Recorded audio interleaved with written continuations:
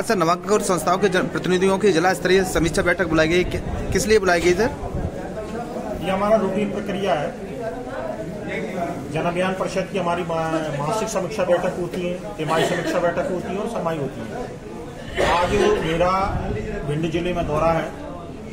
तो हम लोगों ने पहले ही पूर्व में जिला समन्वय विकासखंड समय को सभी नामांकन संस्थाओं को सूचना कर दी थी।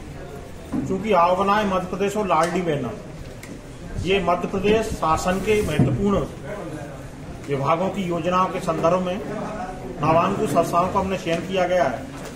नामांकुर संस्थाओं को चयन करना सुरक्षितता के वातावरण में हम सब लोगों को किस प्रकार की समाज की भूमिका में हम सबको अग्रणी भूमिका आगे निर्वाह करना, ये नवांकुर संस्थाएँ बहुत अच्छे अच्छा समझती हैं। और आज भिंड ज़िले की तीस नवांकुर संस्थाओं को हमने समीक्षा बैठक की गई है।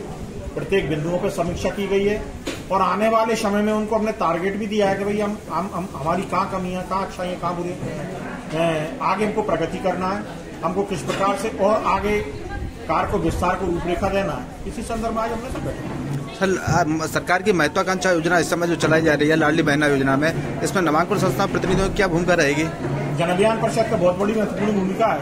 माननीय मुख्यमंत्री जी इसके अध्यक्ष हैं विभाग के जन अभियान परिषद के।